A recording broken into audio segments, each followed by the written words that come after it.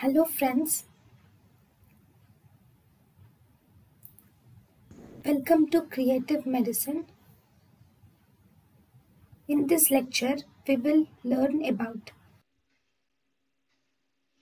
Then Nottingham's prognostic index.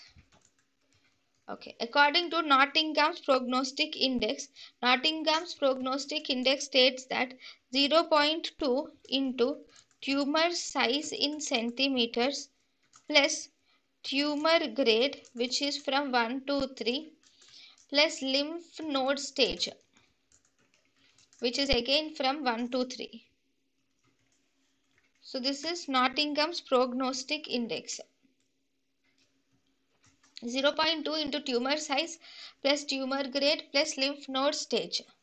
So this Nottingham prognostic is index is used to select the patients for adjuvant therapy. It is used to select the patients for adjuvant treatment. Thank you and thank you for watching.